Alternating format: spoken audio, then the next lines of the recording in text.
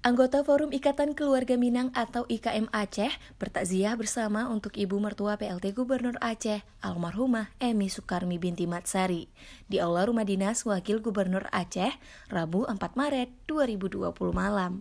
Rombongan diterima oleh istri PLT Gubernur Dr. Insinyur Diah Erti Idawati MT.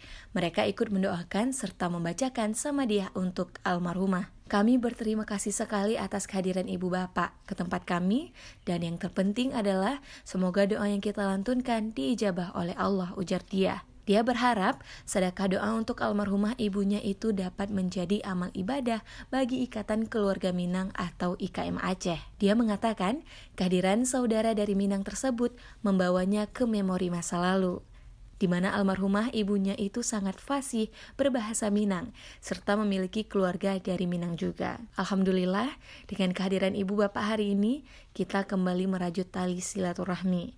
Mudah-mudahan silaturahmi ini bisa membawa kebaikan-kebaikan, ujar dia. Sebelumnya almarhumah Hajah Emi Sukarmi meninggal dunia pada hari Selasa 25 Februari 2020, pukul 2 lewat 6 WIB di Rumah Sakit Mitra Keluarga Bekasi.